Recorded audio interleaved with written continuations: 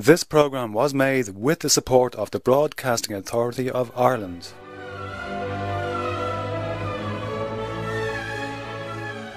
The story of St. Patrick, a boy who was taken captive by Irish ship pirates.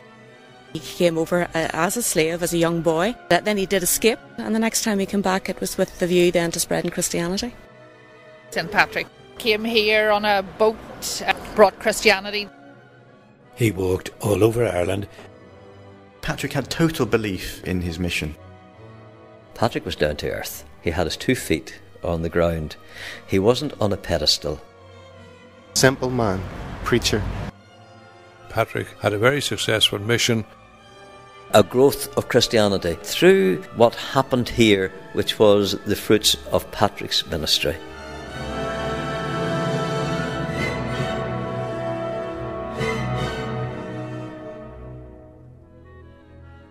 Wright and welcome to the third programme of Back from the Brink, the series which investigates the role of the early medieval Irish in helping to save Western civilization.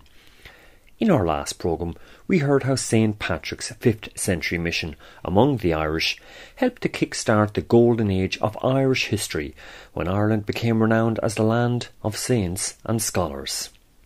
We also heard how during Patrick's 30 years of missionary work in Ireland, from the mid 5th century onwards, he experienced much outside interference.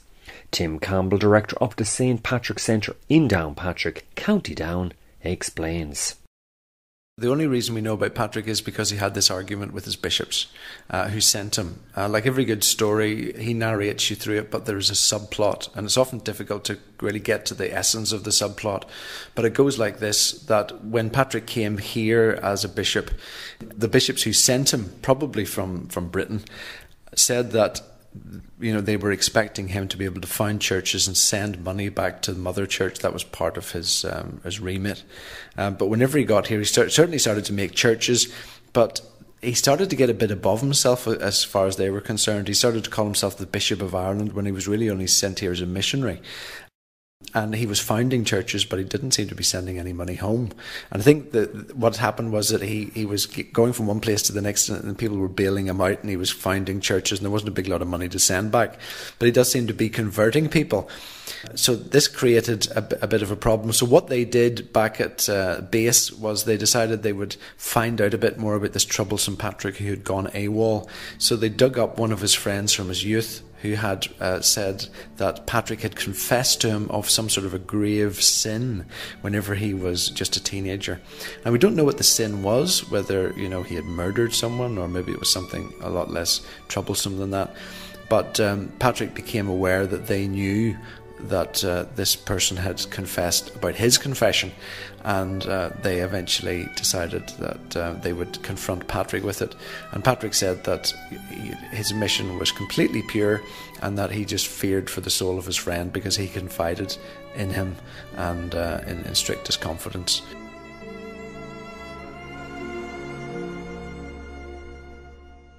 He was brought, so to speak, to an ecclesiastical court and had to defend himself. Downpatrick based historian Sean Grogan. He says that his mission was abused and he was accused of different things and so on. One of the things of uh, sin in his youth, whether it was sexual or whatever it is. But he said he had repented of that.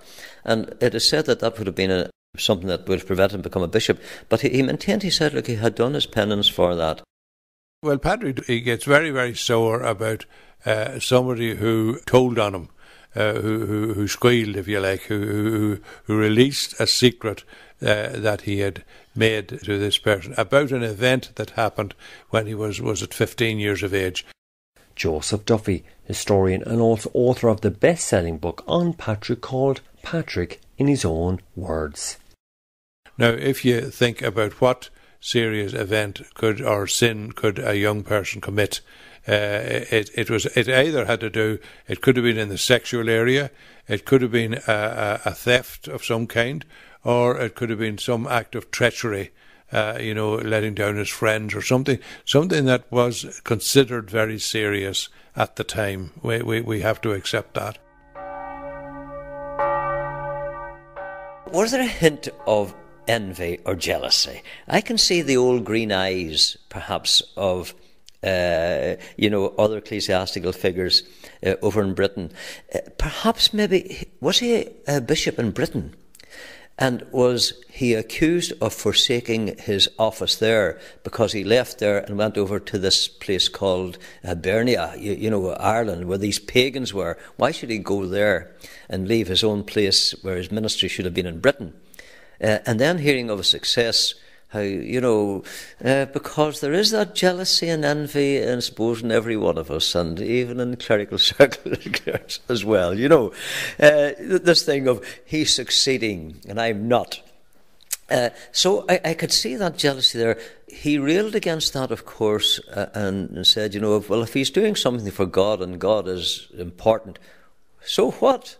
It's not, he is not the important one. It is God uh, and the mission of God and God's message which has been proclaimed. So why stop it? Historian Sean Grogan. Here is Michael King, historian and also curator of the Down County Museum, to take up the story. He really felt that God Himself uh, had given him this mission, possibly not the church, and uh, maybe claiming too much. Um, and it may be that he was set up in some way by you know the, the, the church organisation in, in Britain to, to, to, bring him back down to size a bit, and that something had been dug up, uh, as you might find in, in political circles, to really bring, bring him down to, to size. Um, and uh, it wasn't it wasn't necessarily the news of the world that did it, but um, something in his past was was blown up into something immense to really to, to bring him to book.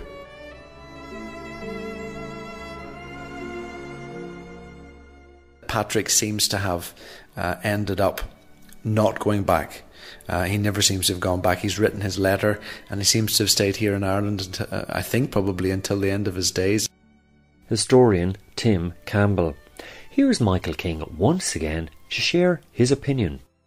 He survived in his mission and uh, he managed to hang on to his authority in Ireland, and possibly it was resented in Ireland um, you know, what the British Church tried to do to him, and maybe he was, you know, valued more uh, in Ireland, and perhaps that's why he was adopted rather than a Roman bishop.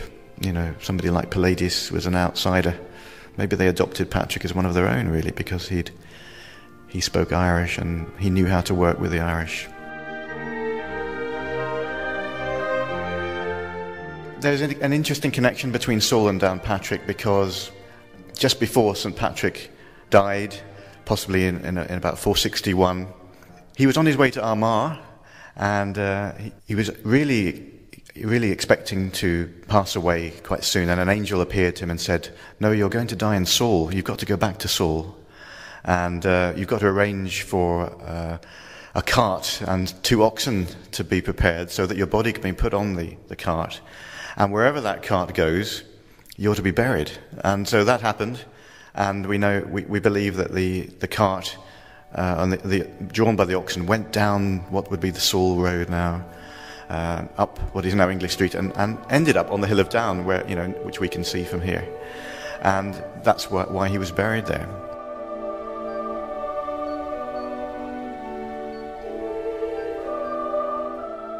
He was a great charismatic figure who was able to persuade people and put over his own self belief. And I think people really were really believed that he was sent by God to bring them the word and bring them into the fold and to save their souls. And he was able to really um, convince them that, you know, on the day of judgment, he would be leading them to heaven.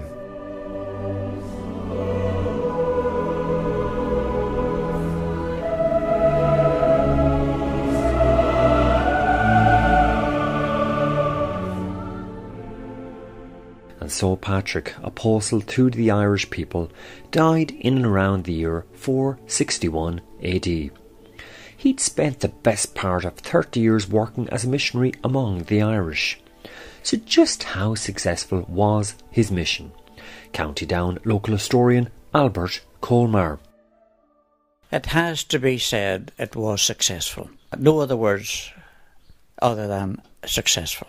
After his death, there were missionaries before him. There were missionaries, many after him. Uh, we know that the great monastic uh, development took place covering the island of Ireland. We know that these great monastic sites, the, the local one would be Nendrum, Bangor, and many in uh, the southern part of the island, for example, Clonmacnoise. These uh, schools not only saved the Christian faith, it developed education, it developed uh, intelligence in a way that hadn't been developed before. We do know that from uh, these great monastic sites, scholars were then to take the Christian message across into, for example, Iona is a classical one, down through mainland Britain into Europe and eventually even coming back into northern Italy. So one can only say, in human terms, Patrick's mission has to be described as being successful.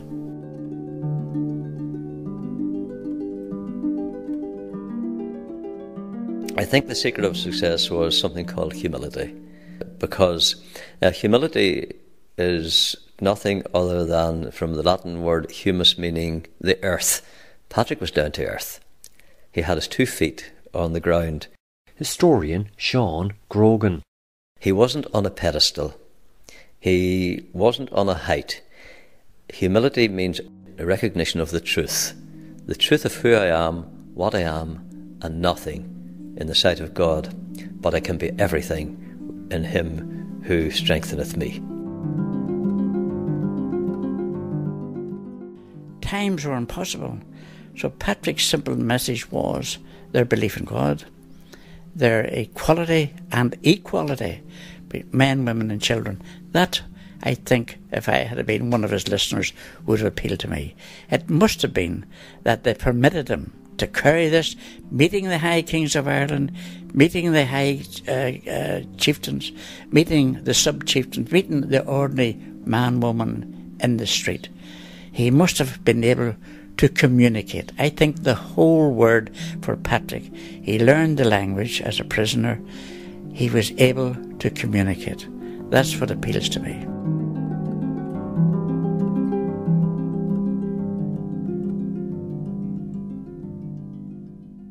So, what is Patrick's ultimate legacy?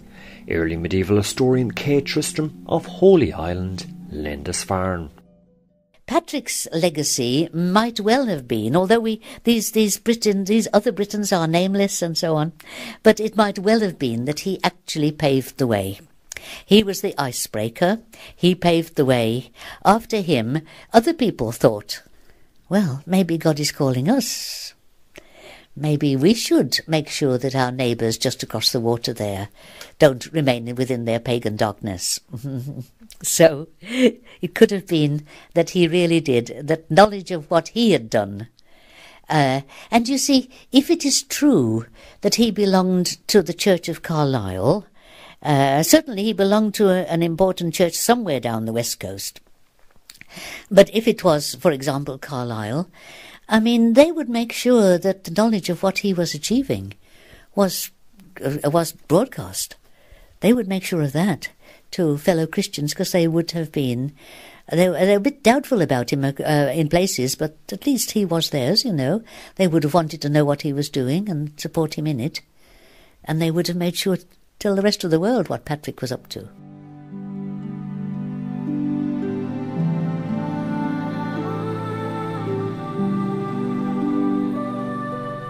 Patrick certainly was endowed with a with an extremely fine-tuned missionary spirit and zeal. Historian Joseph Duffy. I mean, the mission was everything for Patrick. Outreach, and that perpetuated itself not just in the centuries immediately following Patrick, but right down through history and and certainly in the in the in the in the late 19th century, you know, when when when the Irish uh, church followed the Irish diaspora into the Anglophone world, you know, uh, uh, all the, the, the on, on, a continental basis, you know, you're thinking of North America, Australia, South Africa, India, places like that, where the British Empire went, the Irish missionaries followed it. And, and, and that, that's the spirit of Patrick, really, and that's, you know, in a way, the, that's that's the legacy of Patrick, really, and that there are so many hundreds of churches called after Patrick throughout the world. I mean, that's that's the living proof of of what we're talking about.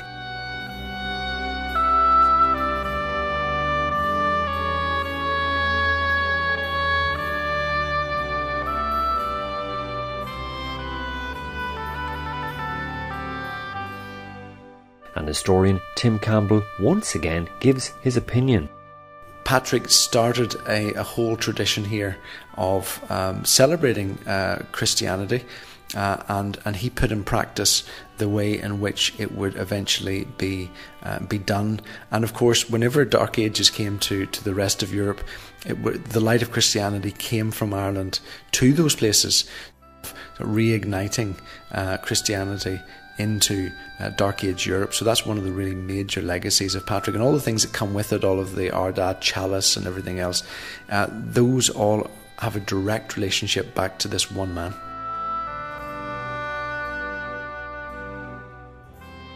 Patrick had total belief in his mission. He saw Ireland as on the edge of the world, and that his mission, really, before the day of judgment, was to bring within uh, the Christian world, the island of Ireland on the edge. And what he did was incredible. He managed to really get a foothold for Christianity in Ireland as nobody else has succeeded in doing. Patrick's act of bringing literacy to Ireland um, really, I suppose, provided a powerhouse of intellectual activity, um, manuscript copying, and uh, really, I suppose, the dissemination of knowledge back to Europe from where it had come. Historian Michael King. Here's Albert Colmer to once again share his views. Patrick's legacy is that he brought Ireland, a land of mists, into the modern world at that time. A place that was developed and sending out missionaries, men and women, to the known world developing faith in the Christian faith. So his his beliefs are still here today. All he stood and preached for and died for.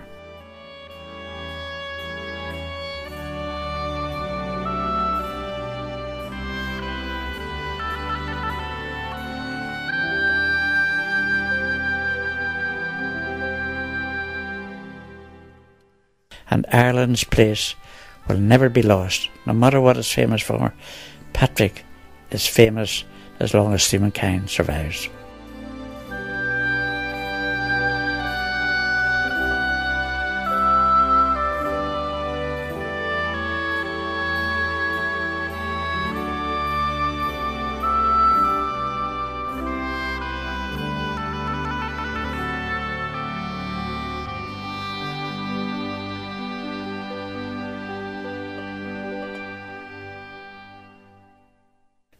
Of history record that St. Patrick helped to kick-start the golden age of Irish history, when Ireland became globally renowned as the land of saints and scholars.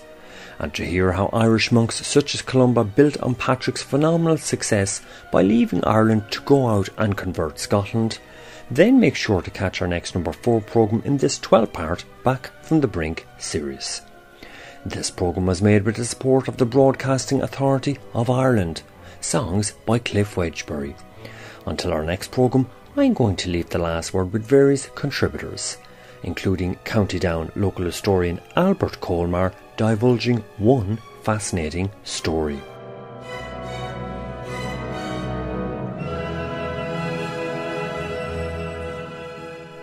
We all heard of the men on the moon. Uh, there's a, a, gentleman called Jim Irwin, Colonel Jim Irwin, who actually drove the moon buggy on the expedition to the moon in 1971. Uh, Jim uh, came over to Ireland uh, and uh, he shared a platform with me, and I took him on the, the tour that I do.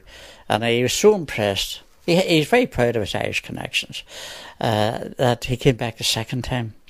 But Jim Irwin, uh, when he arrived on the moon, he believed there was something.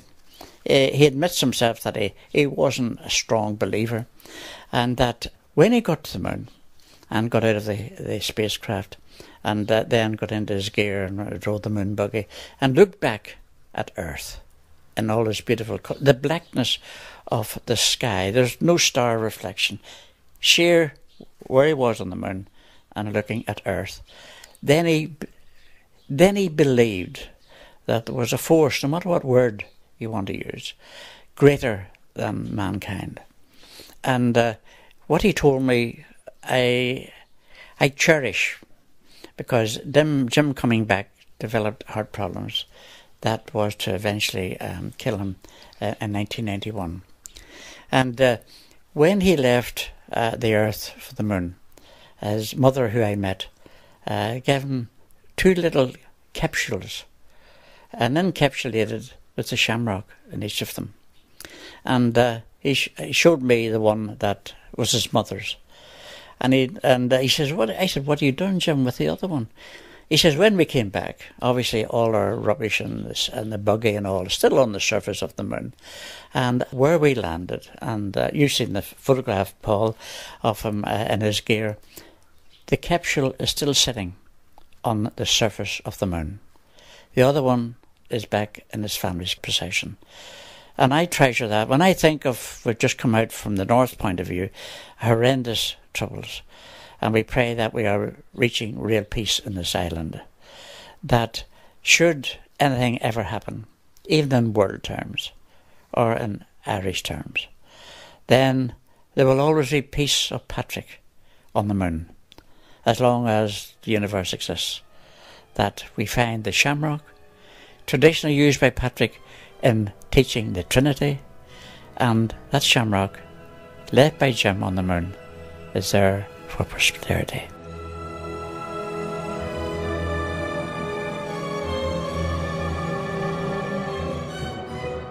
St. Patrick. St. Patrick he was brought over here as a slave. He escaped. He went back to France or whatever. Then he came back here as a bishop to teach the gospel and all the rest. Patrick came here to bring the Christianity. He really has a very special place in the history of Christianity. He came in 432. Himself was just a simple Christian evangelist. Patrick, he must have been totally committed. It really got people believing. St. Patrick made an enormous impact on the Irish.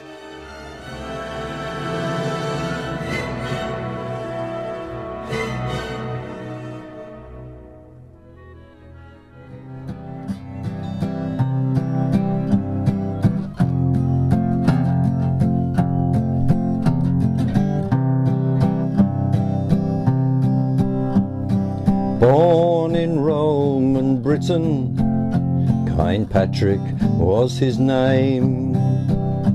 As Caesar's empire fell apart, the Irish pirates came to take the lad in 401 to county down a slave. A shepherd in the Slemish hills, a holy road to pave. Constant cold and hunger was the Slemish mountains' gift. But then a vision came to him, and his heart began to lift. An angel seemed to bid him go and sail across the sea to share his love of God and man with his own dear family. But then the visions didn't stop, they bid him to return to speak the word of God's sweet love and the lessons to be learned.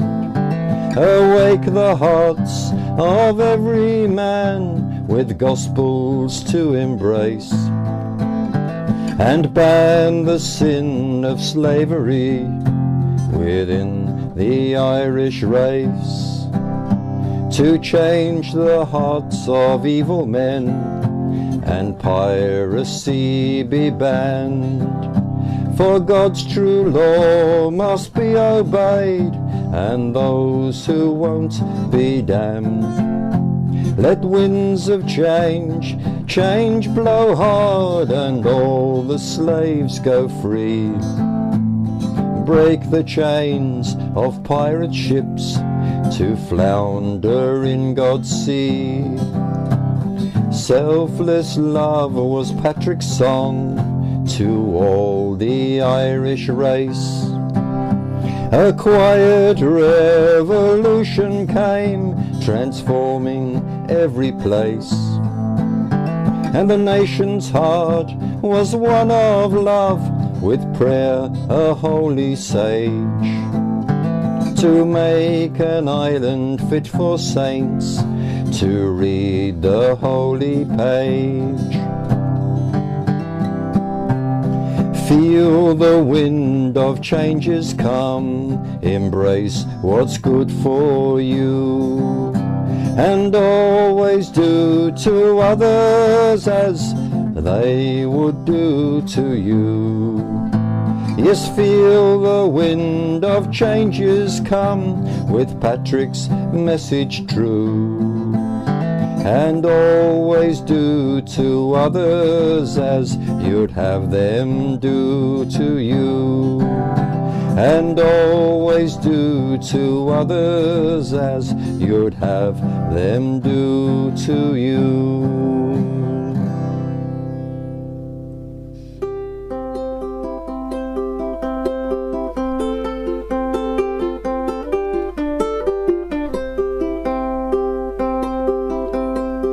I arise today with the Trinity around me. I arise today with the Lord to be my guide. Creator of creation, He will be my flame. I arise today and worship in His name. I arise today with the love of all the angels. I arise today with the prayers of righteous men. The strength of heaven shines in the radiance of the sun, the whiteness of the moon, or the new day just begun with the splendor of the fire, the deepness of the sea. I arise today to be upheld by thee.